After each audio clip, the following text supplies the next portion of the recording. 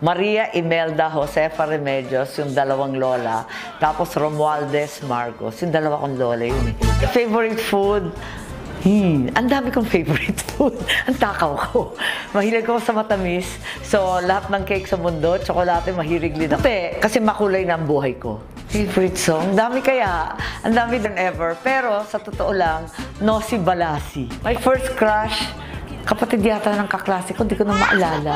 Na hindi ako pinapansin ever. I actually like to garden, pero ngayon hanggang Netflix na lang.